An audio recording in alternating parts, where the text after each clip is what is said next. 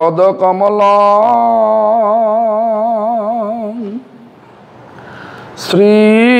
শ্রীগুরুং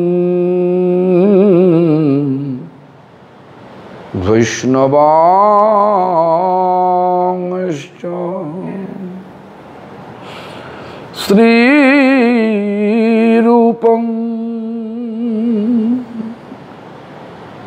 সাগ্রজাতং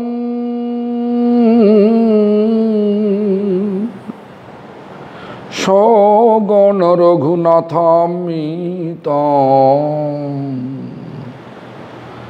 তং সজীবম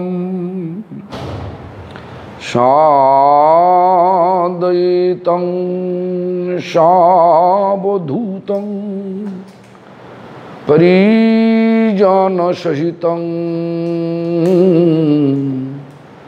কৃষ্ণ চৈতন্যদেবং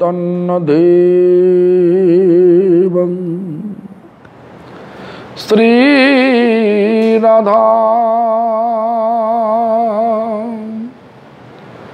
কৃষ্ণপাদ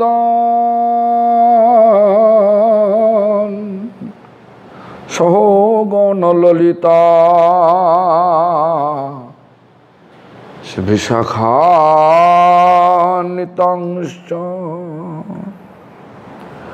ভজ শ্রীকৃষ্ণ চৈতন্য প্রভু নিত্যানন্দ শ্রী অদ্বৈত গদাধর শিবাসাদি গৌর ভক্ত বৃন্দ হরে কৃষ্ণ হরে কৃষ্ণ কৃষ্ণ কৃষ্ণ হরে হরে হরে রাম হরে রাম রাম রাম হরে হরে সর্বাগ্রে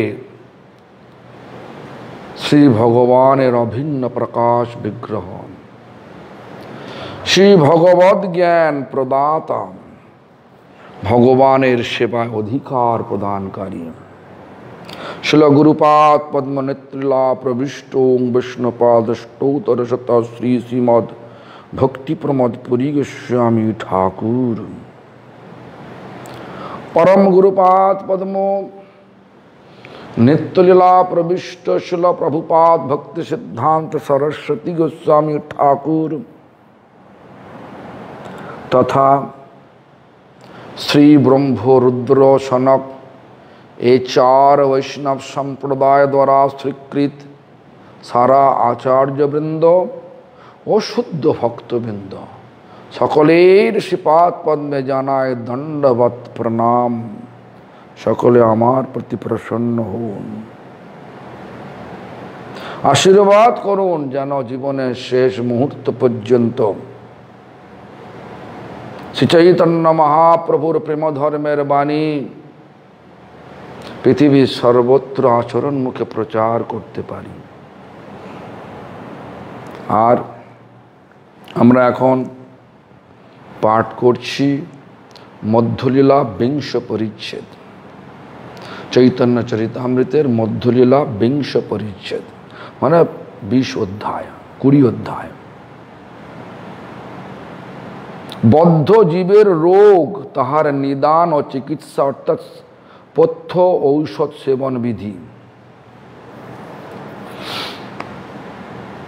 বদ্ধ জীব। কি বদ্ধ? না মায়াবদ্ধ জীব। এদের রোগটা কি? অসুখটা কি? কৃষ্ণ বিস্মৃতি। কৃষ্ণকে ভুলে যাওয়া। কৃষ্ণকে না ভোলাটাই স্বাভাবিক, কিন্তু অস্বাভাবিক হলেও কলিযুগে আর অথবা এই মায়ার জগতে সকলে ভুলেই যায়। কেন? আমরা আমার মনে আছে শ্রী ভক্তিবিনোদ ঠাকুর দ্বারা রচিত তার কীর্তন, ভুলিয়া তোমারে সংসারে আসিয়া পে নানাবিধ ব্যথা। তোমার চরণে আসিয়াছি আমি, বলিব দুঃখের কথা। এই কীর্তনটা করতে করতে দেখবেন এক জায়গায় আছে জননী জঠরে ছিলাম যখন বিষম বন্ধন পাশে একবার প্রভু দেখা দিয়া মোরে বঞ্চিলে দিন দাসে। তখন ভাবিনু জনম পাইয়া করিব ভজন তব। জনম হইল পরি মায়া জালে, না হইল জ্ঞান লব। মায়াজাল কীভাবে হলো? সেটা এরপরে বলছে কীরকম হলো? মায়াজালে পড়লাম। আদরের ছেলে স্বজনের কোলে হাসিয়া কাটানো কাল জনক জননী স্নেহেতে ভুলিয়া মানে পিতা মাতার স্নেহেতে ভুলিয়া, জনক মানে পিতা, জনক জননী স্নেহেতে ভুলিয়া সংসার লাগিল ভালো। হয়ে গেল। বিদ্যার গৌরবে ভ্রমি দেশে দেশে ধন উপার্জন করি, স্বজন পালন করি এক মনে। ভুলিনু তোমারে হরি। স্বজন যার হওয়া, যাকে স্বজন করা উচিত ছিল, তাকে আমরা স্বজন করলাম না। স্বজনকে যারা আমাকে হরি ভজনে সহায়তা করে, তারাই প্রকৃত স্বজন। এই জন্য চৈতন্য চরিতামৃত আমাদের আগেই জানিয়ে দিয়েছেন। কীভাবে জানিয়েছেন? সেই সে পরম বন্ধু, সেই মাতা পিতা কৃষ্ণচরণ যিনি প্রেম ভক্তি দাতা। কে দিতে পারে? গুরু বৈষ্ণব, তারাই প্রকৃত একটা স্বজন। কিন্তু আমরা আমরা শৌক্রজাত সম্বন্ধকে স্বজন বলে মনে করি। যাই হোক শৌক্রজাত সম্বন্ধকে এটা সম্বন্ধ হলেও এটা সামাজিক, ভৌতিক সম্বন্ধ। কিন্তু আসল নিত্য সম্বন্ধ, সম্বন্ধে সম্বন্ধিত তারাই যারা আমাকে হরিনাম করতে সহায়তা করে। হরিনাম করাতে সহায়তা করে, তারাই আসল স্বজন, নিজের জন। কেন? তারা ভগবত জন, ভগবানের জন। আমিও ভগবানের, তারাও ভগবানের। আমি ভগবানকে ভুলে গেছি, তারা ভগবানকে মনে রেখেছে। আমাকে মনে করানোর জন্য এই যে ব্যবস্থা তারা নিচ্ছে, দেখবেন একটা জায়গায় আছে, মহান্তের স্বভাব হয় তারিতে প্রামর, নিজ কার্য নাই তার জান তবু ঘর জান পর ঘর মানে কি? যিনি মহান্ত, যিনি মহান ব্যক্তি, কোন মহান ব্যক্তি? যে ব্যক্তি সেই ব্যক্তি মহান হতে পারে যিনি মহানের সঙ্গে যুক্ত হয়েছেন। কোব, কোন মহান? জগতে একই মহান পুরুষ আছে, সেটা কে না কৃষ্ণ? কীভাবে যোগাযোগ করা যায় তার সঙ্গে? কীভাবে যোগাযোগ করা যায়? কৃষ্ণ নামের দ্বারা তার সঙ্গে যোগাযোগ করা যায়। সেজন্য আমাদের ভক্তনাথ বলছেন, কৃষ্ণ নাম ভজজি আর সব মিছে পলাইতে না পদ পলাইতে পদ নাই, জম আছে পিছে। পালাবার পদ নাই, দুর্গা দেবী দশ হাতে, পৃথিবীর দশ দিকে দশটা অস্ত্র ধারণ করে দাঁড়িয়ে আছে। কেন? দুর্গাদেবীর নিত্য প্রভু, যিনি সকলের নিত্য প্রভু, সেই দুর্গাদেবীর নিত্য প্রভু। তিনি কে না? ভগবান কৃষ্ণ। ভগবানের সৃষ্টি এই জগৎ। এই জগতে ভগবানকে, ভগবানের দাসত্ব বিধান না করে চলে যাবে জগৎ ছেড়ে, এটা হতে পারে না। এই জন্য ভগবান দুর্গাদেবীকে লাগিয়ে রেখেছেন। আর দুর্গাদেবীও আনন্দের সহিত এই এই সেবাটা পালন করছেন। কিনা দশ হাতে পৃথিবীর দশ দিকে দশটা অস্ত্র নিয়ে ধারণ করে দাঁড়িয়ে আছে। পালাবার পদ নাই। দুর্গাদেবী বলছেন, না, তুমি যেতে পারবে না। কেন? আমার প্রভুর দাসত্ব না করে তুমি এই জগৎ ছেড়ে যেতে পারবে না। আমার দাসত্ব করেছ, এ তো হবে না। এখানে থাকতে হবে। এই জগৎটা দুঃখময়, দুঃখ পেতে হবে। ভক্তি করলে প্রথম লক্ষণ কি বলছেন? বলছে, ক্লেশ অগ্নি ক্লেশ চলে যাবে। ক্লেশ মানে কি? দুঃখ চলে যাবে একদম। কেন? আনন্দের সামনে থাকলে, আনন্দের মধ্যে থাকলে কি আনন্দ? চির আনন্দ, সেটা কি? ভগবান।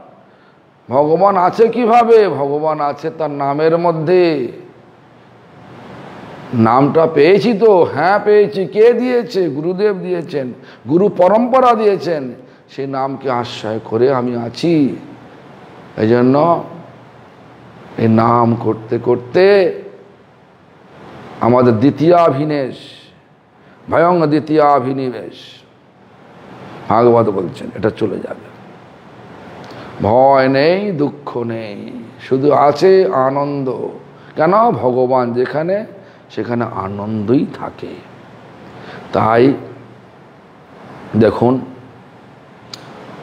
ভক্তির প্রথম যে লক্ষণ যিনি ভক্তি করছেন, তার প্রথম লক্ষণটা কি? ক্লেশ থাকবে না একদম, ক্লেশ আগ্নি শুভদা! কোনো লোকের খারাপ চিন্তা করবে না। কেন? যারা হরিনাম করে, তারা প্রকৃত সাধু। সাধুর লক্ষণ কি? সাধুর লক্ষণ হচ্ছে সৃহৃদ সর্বদেহী নাম সমস্ত দেহধারী জীবের শুভাকাঙ্ক্ষী, এটাই সাধুর প্রকৃত লক্ষণ। সাধু চিন্তা করবে না, এ আমার দলে আছে, আমার মঠে আছে। আমার মঠে সেবা করে, অন্য মঠের লোক একই সম্প্রদায়ের মধ্যে অন্য মঠের লোক হলে আমরা একটু অন্যরকম চোখে দেখি বটে। কিন্তু যেটা দেখা উচিত নয়। আমাদের বিচার করা উচিত। সবাই প্রভুপাদের সেবক, কৃষ্ণের সেবক সেবক সেবিকা। সকলকে সমদৃষ্টি সম্পন্ন রাখতে হয়। দেখবেন বৈষ্ণবের একটা গুণ আছে। একটা মানে ছাব্বিশটা লক্ষণের মধ্যে একটা লক্ষণ সম সকলের প্রতি সমান দৃষ্টি রাখা। এই জন্য দেখবেন, শুভদা, সুদূর লভা। তারপরের লক্ষণ সুদূর লভা। মানে এমন দুর্লভ কৃষ্ণ প্রেম। এটা তো আমাদেরকে পেতেই হবে, এই লোভ থাকতে হবে। আর জন্মটা সুদূর্লভ মানুষ জন্মটা সুদূর্লভ এটা তখনই পরিপূর্ণ হবে যখন ওই প্রেম প্রাপ্ত করব। আর সান্দ্রাত্মা বিশেষাত্মা।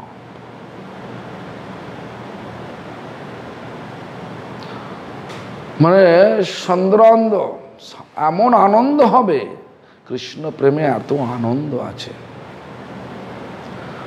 তার কি বলব? যে পেয়েছে সেই বুঝতে পারবে, ভাষা দেওয়া প্রবেশ করা যাবে না। তারপরে লক্ষণ কি বলছেন?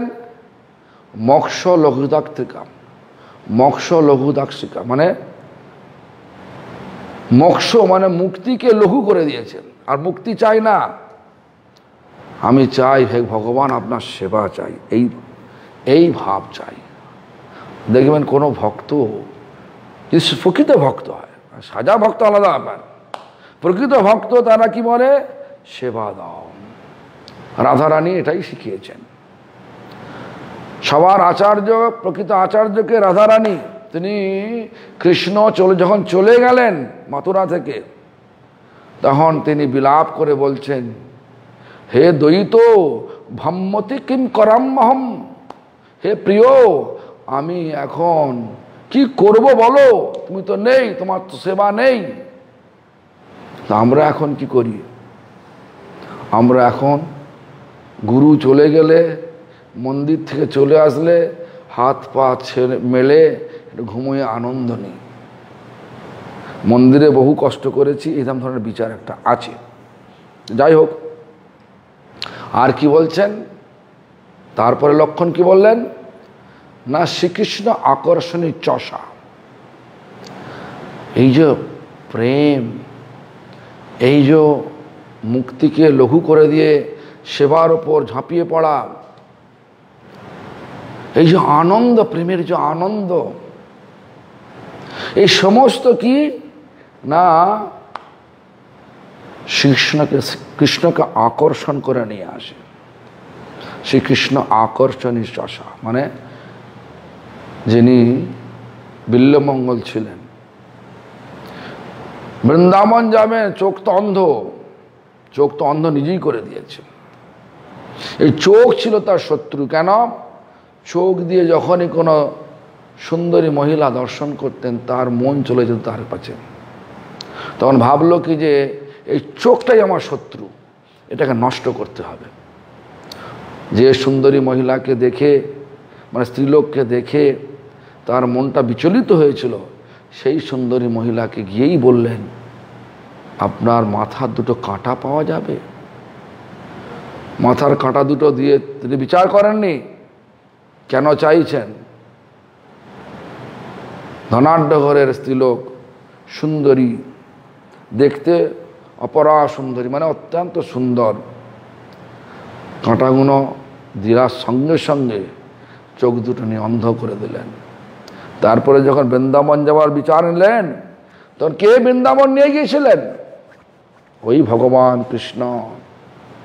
কৃষ্ণকে আকর্ষণ করে নিয়ে আসে। ভক্তি, ভক্তির এমন শক্তি। এই জন্য আমাদেরকে সৌভাগ্যবান ভাবতে হবে। কেন? আমরা এই ভক্তি পরম্পরা এসেছি। ভক্তির পরম্পরা এসেছি। আমরা কোনো অন্য কোনো পরম্পরায় গিয়ে আমাদের ইন্দ্রতৃপ্তি করব, এরাম বিচার রাখি নাই। এই জন্য আমাদেরকে সবসময় এটা বিচার করতে হবে। কি বিচার করব? সেবা ছাড়া যেন জীবন না যায়। মঠে গেলে সেবা বাড়িতে থাকলেও সেবা। কেন? এ শরীরটা ভগবান পাঠিয়েছে তার সেবার জন্য। জগৎটা তার, সেবা ছাড়া থাকা যাবে না। সেবাতেই আনন্দ, সেই আনন্দই চির আনন্দ। আর অন্য আনন্দ ক্ষণিক আনন্দ দেখায় বটে, কিন্তু তার চরমে দুঃখই পাওয়া যায়। এই জন্য আপনারা সকলে এটা বিচার করবেন। যে আমরা অত্যন্ত ভাগ্যবান। এই জন্য প্রভুপাদের পরম্পরায় আমরা এসেছি। শিল প্রভুপাদ, ভক্তি সিদ্ধান্ত, সরস্বতী গোস্বামী ঠাকুরের পরম্পরায় আমরা সব এসেছি। শিল প্রভুপাদ যেটা বলেছেন, কি বলেছেন প্রভুপাদ? লেখাপড়া পাণ্ডিত্যের শেষ কথা হরিনাম সংকীর্তন। লেখাপড়া করো। পণ্ডিত হও। কিন্তু হরিনাম ছাড়া যদি দিন যায়, তাহলে জানবেন ওই লেখাপড়া আর পাণ্ডিত্যের কোনো দাম নাই। যাই হোক, আমরা ভুলে গেছি। কি ভুলে গেছি? ভগবানকে ভুলে গেছি। এই জন্য ভাগবত কি শিক্ষা দিচ্ছেন? আমাদের রোগটা আর রোগের ঔষধটা কি? ভয়ং দ্বিতীয়া ভিনিবেশত সাদ্দি সাদ পেতস্য বিপর্যয় স্মৃতি তন্ময়ত বুধ অবজেত্তং ভক্তৈকং গুরুদেবাত্মা। ভক্তৈক ভক্তৈক এসং গুরুদেবাত্মা। এই শব্দকে সুন্দর করে বুঝতে হবে। কি বলছেন? শিলা প্রভুপাত কি বললেন? কৃষ্ণ হইতে ইতর যে মায়া, তাহাতে অভিনিবিষ্টতা প্রযুক্ত জীবের ভয় উপস্থিত হয়। এবং যেমন যখন প্রহ্লাদ মহারাজের কোনো ভয় ছিল, যে ভয়ের কারণ, যে ওই ওই যদি বিপদ আমাদের কাছে আসতো, আমরা তো ভয়ে ঘর থেকে বেরোতাম না। নিজের বাবা পাহাড়ের উপর নিয়ে গেল মানে নিজের নিজের বাবা লোক দিয়ে পাহাড়ের উপর পাঠিয়ে দিল, পাহাড়ের উপর থেকে সমুদ্রের মাঝখানে ছিপিয়ে, ছুঁড়ে দিল। প্রহ্লাদ বিশ্বাস করেন ভগবান সকলের রক্ষাকর্তা। আর বরাহ মূর্তি এসে ভগবান সেই সমুদ্রের মাঝখানে প্রহ্লাদকে তুলে নিলেন। সেই বরাহ মূর্তি হ্যাঁ? তো দেখুন বলছেন, এবং সেই ঈশ হইতে বহির্মুখায় মায়াজনিত বিপরীত স্মৃতি এতন্নিবন্ধন পণ্ডিত ব্যক্তি গুরুকে দেবতা ও আত্মস্বরূপ জ্ঞান করিয়া অনন্য ভক্তির সহিত সেই পরমেশ্বরকে ভজন করিবেন। গুরুকে দেবতা, গুরুদেব আত্মা। হ্যাঁ এটা ভক্তি ঠাকুর বললেন। যে যে মুহূর্তে আমরা ভগবান ঈশ্বরিতে বহির্মুখ মানে ভগবানকে ভুলে যাব এই তখনই মায়াজনিত বিপরীত স্মৃতি। মায়া মানে কি? ছায়া। মায়া মানে এই আমার শরীরের ছায়াটা পড়ছে অন্যদিকে। এই ছায়াটাকে শরীর বলে মনে করছি। ছায়াটা শরীর নয় তখনই শরীর নয়। ছায়াতে তুমি, আমরা যদি কোপাই, ধারালো ছুরি দিয়ে, কিচ্ছু হবে না। ছায়া তো ছায়াই। আসল ভগবানের পেছনে ছুটতে হবে। ছায়ার পেছনে ছুটতে হবে না প্রতিবিম্ব উল্টো। আর এই জগৎটা ভগবানের জগতের প্রতিবিম্ব স্বরূপ। এখানে যেটা ভালো, পরজগতে মানে ভগবানের যে সেটা খারাপ।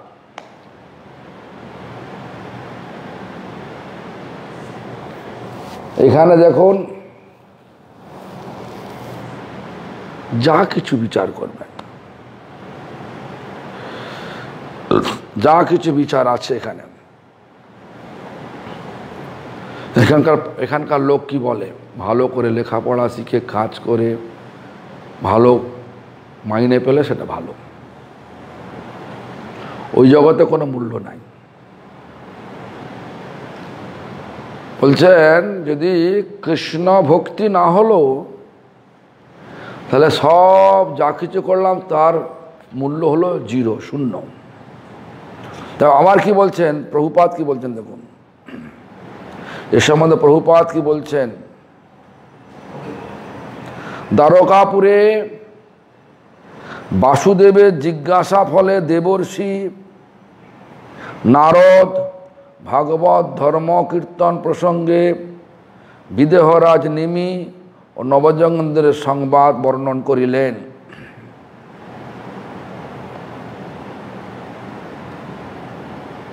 মানে বসুদেবের নিমিত্ত নিমির যজ্ঞে নবজগন্দ্রের গমন করিলে তিনি তাহাদিওকে ভাগবত ধর্ম কীর্তন করিতে প্রার্থনা করায়। তাহাদিগের অন্যতম কবি ঋষি মানে কবি, হবি আবিহত্র পিপ্পলায়ন সব নজন ঋষি। হ্যাঁ? সেই কবি ঋষি প্রথমে ভাগবত ধর্ম লক্ষণ বলিয়া, বদ্ধ জীবের দুরাবস্থা ও ভগবত ভজন কর্তা, কর্তব্যতা উপদেশ করিতেছেন। কি বলছেন? হ্যাঁ? বদ্ধজীব ভগবানকে ভুলে গেছে, মায়াতে আকৃষ্ট হয়ে ভগবানকে ভুলে গেছে। তা কি করতে হবে? রোগটা কি? রোগটা হচ্ছে ভগবানকে ভুলে ওটাই আমাদের ভয় এসে গেছে। যেমন ভয় পেয়েছিলেন সুখদেব গোস্বামী, মাতৃকক্ষ থেকে বেরোতে ভয় পাচ্ছিলেন। আর আমরা তো খুব একদম আনন্দ সহকারে ভগবানের এই মায়ার জগতে আসতে রাজি আছি। আর ভগবানের কাছে বা দেবদেবীর কাছে মায়াতে থাকার জন্যই সব চেয়ে নিচ্ছি। হে ভগবান আমাকে অনেক পয়সা দাও, আমার যশ দাও, আমাকে নাম ধাম করে দাও। আর কি আছে?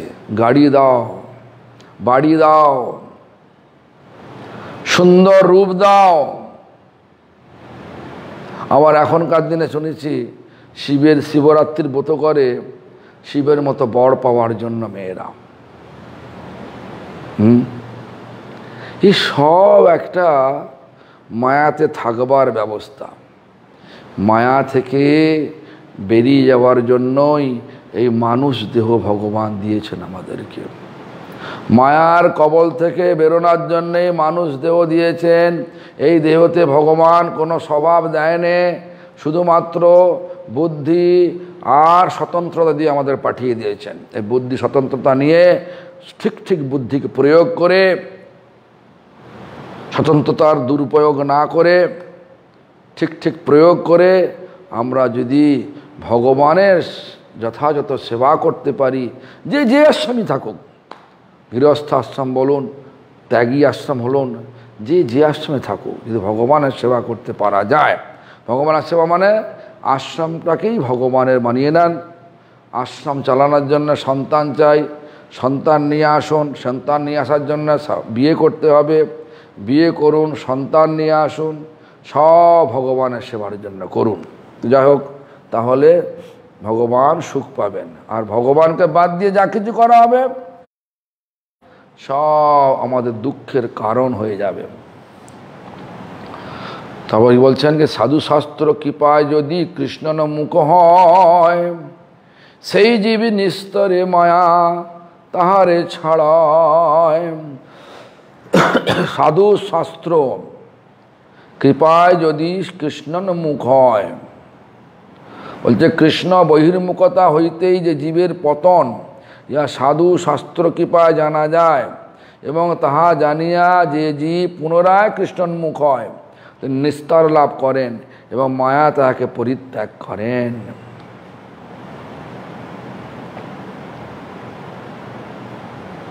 যেই মুহূর্তে কৃষ্ণন্মুখ হব। সেই মুহূর্তে মায়া ছেড়ে দেবে। কে বলছেন? ভগবান বলছেন। কোথায়? শ্রীমৎ ভগবদ গীতা চতুর্থ, সপ্তম অধ্যায়, চোদ্দ নম্বর শ্লোকে বলছেন। কি বলছেন? দৈবী ঝেষা গুণময়ী মম মায়া দূরত্বয়া। প্রথম শব্দটা, প্রথম লাইনে বলে দিলেন, আরে, এই মায়াটা আমার গুণময়ী, খারাপ নয়। গুণময়ী মানে ভালো। হ্যাঁ? আর বলছে দূরত্বয়া একে ত্যাগ করা যাবে না। অসম্ভব।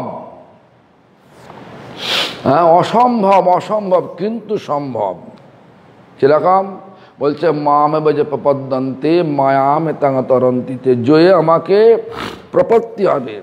প্রপত্তি মানে আমাকে শরণাগত হবে, সেই একমাত্র এই আমার মায়াকে পার করতে পারবে। মায়াকে পার সে শরণাগত। জীব যখন শাস্ত্র অনুযায়ী শরণাগত হয়ে যান মানে কৃষ্ণের শরণাগত হন, কৃষ্ণ শরণাগত মানে কি? কৃষ্ণের প্রতিনিধি স্বরূপ যে সমস্ত শুদ্ধ ভক্ত গুরু বৈষ্ণব আছেন, তাদের আনুগত্যে থেকে ভগবানের সেবা করার প্রবৃত্তি নেয়, তখনই হয়ে যায় আসল হ্যাঁ মায়া তখন ছেড়ে দেয়। এই জন্য আমাদেরকে ওষুধ খেতে হবে। কি ওষুধ? শরণাগত হয়ে হরিনাম করতে হবে। কার শরণাগত? গুরু বৈষ্ণব ভগবানের শরণাগত। আর নাম করতে করতে ভগবানের ধামের চিন্তা করতে হবে। ভগবানের ধাম মানে দিব্য বৃন্দাবন। স্বর্গ নয়। স্বর্গে অনেক জ্বালা আছে, যন্ত্রণা আছে। এই জন্য স্বর্গ আমরা চাই না। নাহি মাগি স্বর্গ, আর মক্ষ নাহি মাগি। না করি প্রার্থনা, কোনো বিভূতির আমরা কোনো যোগী হয়ে সিদ্ধি নিয়ে জগৎকে ধোকা দিতে চাই না।